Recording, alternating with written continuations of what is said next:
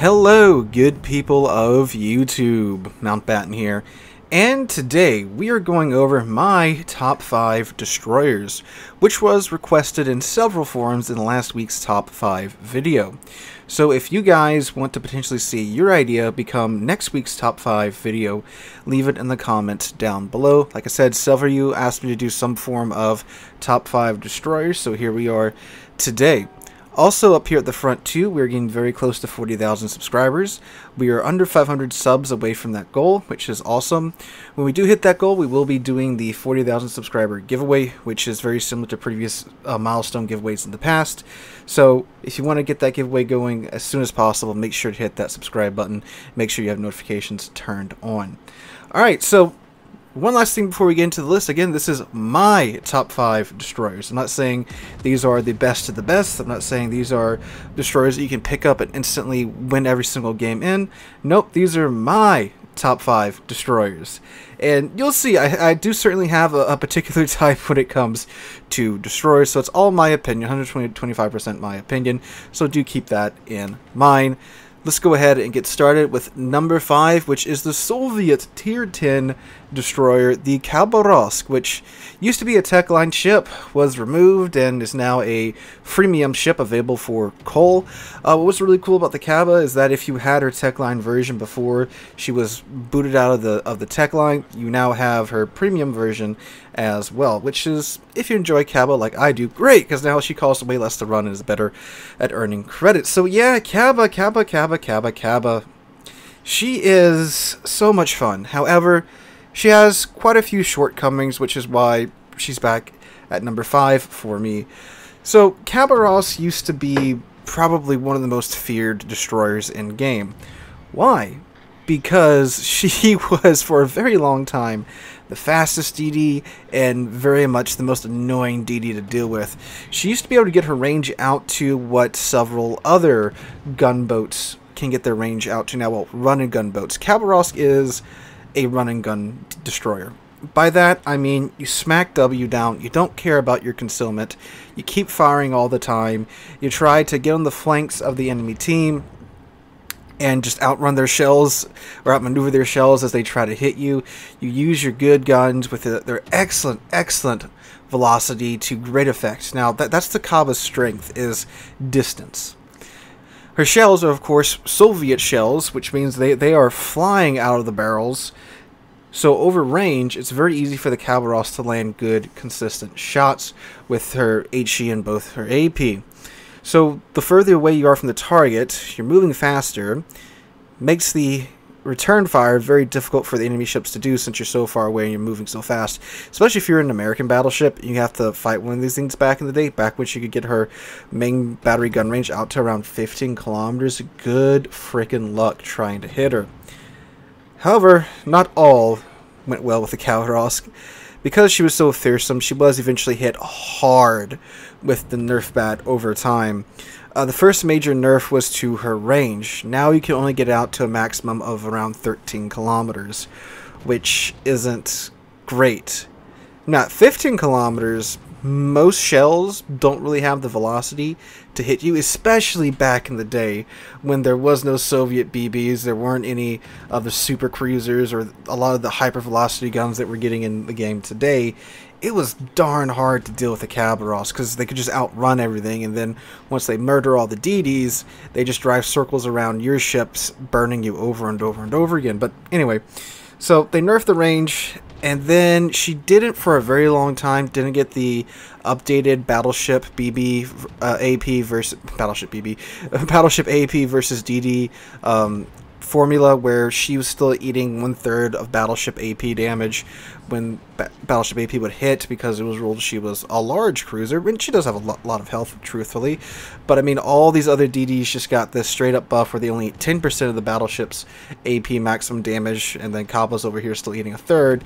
But I say recently, but was, I think it was about a year or two ago, they finally gave her the updated 10% AP um, formula to now where she doesn't just get dumpstered by Battleship AP compared to other DDs. So that helped. Her range is still very short, But hey, she's still a fun boat for me. She's got that speed boost. She's a very fast boat. Can't really maneuver that well, but I mean, when you can accelerate and decelerate on a dime, it's it's pretty good. And she does still get the heal too. You have your choice of heal or smoke. If you choose smoke in a Khaba, uh, you're playing the wrong ship, sir. Definitely want to pick up that heal. Her AP is very fearsome too her AP is actually sap. She had sap before it was cool, so that's fun. So it's great dealing with uh, lighter armored targets and the like. So yeah, very fun ship. One of my personal favorites, but yes, has quite a few shortcomings nowadays, which is why she's at number five. All right, moving on down to number four, we have the tier 9 premium Italian destroyer, the Paolo Emilio. Ah, yes the YOLO Amelia. What would one of my top five DDs list be without Paolo? Paolo is a one trick pony, but it's a really good trick. so, what Paolo has is well, she has speed, exhaust smoke, and nuclear tipped torpedoes that do not have a lot of range. Now, um, Paolo isn't really a formula for the current Italian DDs. I mean, I can see how they kind of took some of the ideas from her and gave them to the Italian DDs with like the slower firing guns that fire sap. Sure, but you can't play Italian DDs like you play Paolo because Paolo is a torpedo delivery system. Her thing is she has smoke, exhaust smoke that is just long enough to cover her concealment range to the target with her speed boost, and it lasts just that long.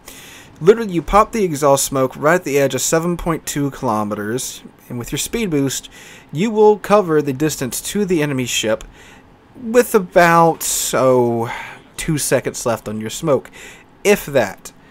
And then you deliver your nuclear tipped torpedoes to the enemy ship. And these torpedoes have, like, Shimakaze Alpha on them. She gets three sets of four, which is just enough to essentially kill one tier 9 battleship per torpedo rack. So that does mean you can potentially sink three tier 9 battleships in one run. I've done that before. It's hilarious. And you get you, you might think, well, Sea Lord, to switch radar and hydro at tier 9 and 10 now, how does that possibly work? You will be surprised how many people ignore the 60 knot smokescreen charging at them until they get proximity detected by a destroyer. You would be surprised. So she's a fun trick, but I mean, it is a research bureau ship. You do have to regrind lines to get it, but the giggle value is immense, and not every game you're going to pull this off successfully. It takes time to get good at singling out the targets. If there's any other DDs in the way, you're probably not going to have a good time. So you got to find that one or two battleship that's out by themselves that don't have any destroyers or or uh, cruisers near them, and even sometimes too they might be there, they might not just be spotted, so you gotta get good at improvising and uh, having a backup to your backup to your backup planes. But yes, a fun boat with a nice trick that you can get to work kinda well with practice. Alright, going on down to number three, we have the Tier 8 Premium American Destroyer. The Kidd. So the Kidd is probably one of the best destroyers for someone that's just starting to grind up a, a, a destroyer line, particularly the American destroyers, and they need something to train their commanders or maybe practice on that's a little bit forgiving. The Kidd is definitely your ticket there. What the Kidd is is a Fletcher, which is a Tier 9 Techline American destroyer, down tiered to Tier 8 at the cost of her Fletcher torpedoes and a torpedo mount, but she gets more AA, she gets a heal, she gets the American spoke, which is all quite nice. And she gets, um, I believe, Benson torpedoes. They have a very long reload time and only roughly an 8 kilometer range, but you do get more AA. Kidd, still today, is one of the best AA ships in the game. She is absolutely the last thing a, a, destroyer, a carrier wants to come across when they are seeking out their targets. You can easily make even tier 10 carriers weep. Even some of the super carriers, too, that aren't using the jets at this time. So, great AA, has that heal, and she's a Fletcher, which is a tier 9 destroyer at tier 8 with the heal. So, with the guns of the Fletcher, you can be just an excellent cap contesting DD. You get the long duration American smoke. You get the heel, You get the Fletcher's guns. You, I mean, the torpedoes, they are Benson torpedoes, but they're still torpedoes. They're still quite good. They're still perfectly capable of denying the enemy entry into an area. Yes, they're only 8 kilometers, but hey, that's you know roughly the size of a cap. So the way I have my Kidd built is for cap contesting. Have everything built into the DPM of the ship. Use a smoke screen, hide in that corner of the um, of the cap, outgun the other DDs that, that might come across you. Keep in mind this is a tier 9 and a tier 8 slot. So this can potentially see tier 6 destroyers. At which case the Kidd absolutely just dumpsters them. Because again, it's a tier 9 at a tier 8. And it gets a heal on top of that too. So you have a huge advantage over those lower tier destroyers. I mean, you do see tier 8 and even tier 10 destroyers. You are still, again, pretty much a tier 9 destroyer with a heal. With, you know, some compromises here and there. So that's able to just help you be an excellent cap contesting DD. And the kids are very good at that. Now, playing this method, of course, you're not going to come out with a bunch of damage or anything like that, because you're going to be fighting mostly other DDs, so of course, in most cases, you aren't going to be ending the game with like 150, 180,000 damage, but you'll probably have one or two destroyers murdered, which the game rewards you in um, percentage of damage versus the ship's overall HP. So sure, you don't have 200,000 damage done, but it's 3 DD's worth of damage, which is exactly the same as if you sat there and burned out three battleships. So, yeah, you may not get any big, funny numbers, but hey, she's good at what she does. An excellent destroyer for players that are just getting into destroyers. Again, don't go buy this thing first before you even try um, playing destroyers. Do grind up the American line a bit, get used to playing destroyers, then pick up the ship. So again, an excellent ship, real still historical ship too. The ship is very close to where I live at, so it's always awesome getting to see these ships in game, begin to go experience them in real life. Going on down to number two, we have the other Tier 9 American premium destroyer, the Black. So the Black is the only way I think you could get an American destroyer to be an even better cap contester than the Kidd, which is giving a Fletcher a radar. So that's essentially what the black is. A Fletcher with a radar it has slightly different torpedoes. They're much longer range torpedoes, but they're slow. You can get them out to 13 kilometers. They're very slow, but they hit pretty darn hard, which is pretty nice for cap testing. You'd be surprised how many times you'll catch someone off guard with these torps. Slow torpedoes are sometimes the stealthiest ones, it seems. But anyway, so the Black's radar goes out to 7.5 kilometers, which of course covers the entire cap, which means you can back into a cap, be sitting in one corner of the cap, and easily have the whole cap within radar.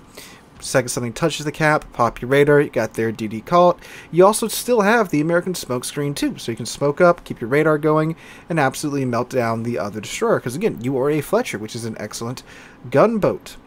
So just using that simple tactic, you'll be probably the king of the cap until you run into either another black or something like a small uh, uh, like a Småland that also has radar. So she's just a great cap contester. She's returned. She is one of the most expensive coal ships in the game. She's tied with Neustrashimy for uh, the most expensive coal ship, and she is a tier 9, and it is a destroyer. So that is something that does turn a lot of people off. The fact that you do have to spend upwards of, I think it's like 295,000 coal for the black which is a lot of coal, but hey, it's a free ship. You can easily get that much coal in like three, four months just by getting your daily coal containers. And by well, mm, well, actually, no. With the battle pass coming, you will be earning a little bit more coal than normal. I was about to say about doing your daily combat missions and stuff, but the battle pass is getting rid of that. But that is one thing that we are actually gaining in the battle pass is more coal. So you will actually be able to get the ship a little bit faster with the new battle pass system. But of course, uh, participating in ranked and other events during the uh, the seasons that we go through and with warships, you will be able to pick up quite a bit of coal. So if you do that, you can shave that down to about two and a half months. And then, of course, when the coupon comes on cooldown, you get a nice 25% off to the price of the ship. So you can get the ship for a little bit cheaper than that. So just wait, save up your coal, save for the coupon, and you can get the black a little bit cheaper than that. Still going to cost about the same as a um, as a normal coal ship. So yeah, but again, well worth it. Excellent cap contester. All the good stuff we mentioned about the Kidd, the American smoke, the guns. Um, those are still here on the black. You just don't get a heal, so you gotta play the ship a little more cautiously, and you know you don't have that heal to kind of brute force your way through those DD on DD gunfights. But she's still well worth it in my opinion. Alright, going on down to number one, we have the Tier 10 French destroyer, the Kleber. Now, I hear it already. Sea Lord, why not the Marceau? Well, you know, the Marceau, she's a Kleber with smaller a Kleber with smaller guns, and the shells are just a little bit too floaty for my taste. Like, the Marceau is an excellent destroyer. Definitely one I would recommend you pick up. But when I want to sit down and just play a destroyer for fun, I always pick the Kleber over the Marceau because she has the better shell ballistics. Yes, she has the bigger shells, and yes, they take longer to reload, but she's just a Khabarovsk that does everything better. And that's the truth. She plays pretty much exactly like the Khabarovsk. She's a run and gun destroyer. She has some excellent guns with excellent shell ballistics, and she has some fearsome AP along with some excellent HE. She's a very fast ship. Now she doesn't get the heal that the Khabarovsk gets, but she does does get the improved French DD damage saturation. For those of you that don't know how damage saturation works, uh, you can go into a training room and see a perfect example of this, or say working perfectly well.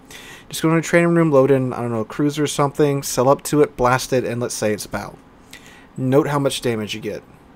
Blast it a couple more times in the bow, and you'll see that it takes less damage, because that part of the ship has become damage saturated. The hit points in World War ships, it's, it's not just a health bar where you can poke the ship one to, uh, a million times in the smokestack, get the exact same amount of damage, and sink the ship that way. You can sink the ship by shooting it in the same spot over and over and over again, but once the part becomes damage saturated, you're going to start to see a minimum number of hit points get removed from that part of the ship anymore. So yeah, sure, you can shoot it in the bow a million times and eventually kill it, but it's going to take you a million shots. No, not literally a million. It's going to take you obviously a lot more, but not that many. I'm just exaggerating a little bit. But anyway, so with the French damage saturation, it works out to where, well, for the French destroyer damage saturation, I wish the French cruisers got this. That that, that would make them amazing. Um, they effectively take around half the amount of damage that most other DDs would in that situation. So their parts get damaged, saturated much faster. So they don't have a heal, but it pretty much makes up for it. In the, in the game watching the background, I lived for a very long time, and in, in many cases, uh, in cases that I shouldn't have uh, necessarily survived, especially if, if I was would have been something like the the Khabarovsk. So she's faster than the Khabarovsk. Her guns are. I wouldn't say they're better what makes them better is that the Khabarovsk, I'm sorry, that, that the Kleber does get the reload booster, the old French gimmick. So this is what I like to call the I win button. Sure, the Kleber's guns have a reload above 5 seconds, which is very long for a tier 10 DD's reload to, to be. But when you po poke the I win button, you now have like a 2.5 second base reload time. Then, of course, after you've taken some damage, you get down to half health, you have an insanely fast reload time. So when it comes down to it, you're in a DD on DD fight, you pop that th you pop that guy, and you win the fight as long as you can aim decently well. And very similar to the Khabarovsk as well, her AP is very fearsome. If you have a cruiser with uh, that's showing you broadside, go ahead and switch onto it, aim for its upper belt or its superstructure. You chunk the guy for like 2k to 5k easily per salvo. And then, of course, if you got one that keeps showing you their broadside, pop it with AP, and you'll absolutely melt that poor guy down quite easily. So she does everything better that the Khabarovsk does. She's a tech line ship, so she's completely free to grind, and she's a ship I absolutely adore to play. Plus, she has a 16 kilometer main battery gun range, which is very similar to Khaba's old gun range. So, yeah, it's just a better Khabarovsk. Uh, which, you know, does hurt to say, but hey, it's a free ship, just one grind away from all of us, and is an excellent running gunboat, and my personal favorite destroyer in the game. Right, right behind Khaba. If Khaba would just give a little, a little, little treat from Wargaming, you know, the Khabarovsk can have some range as a treat, right, Wargaming? Please? Please? But anyway, guys, that's my top five destroyers. Let me know what you guys think in the comments down below. Again, as you can tell, I very much like gunboats, very much like running gunboats as well. Uh, other than that, I do like the cap contesting gunboats, like, of course, the Kidd and the Black as well. So, guys, let me know what you guys think in the comments down below. Hope you guys are having a wonderful Monday. Have a wonderful rest of your week. If you enjoyed the video, make sure to drop a like, leave a comment, and subscribe to the channel.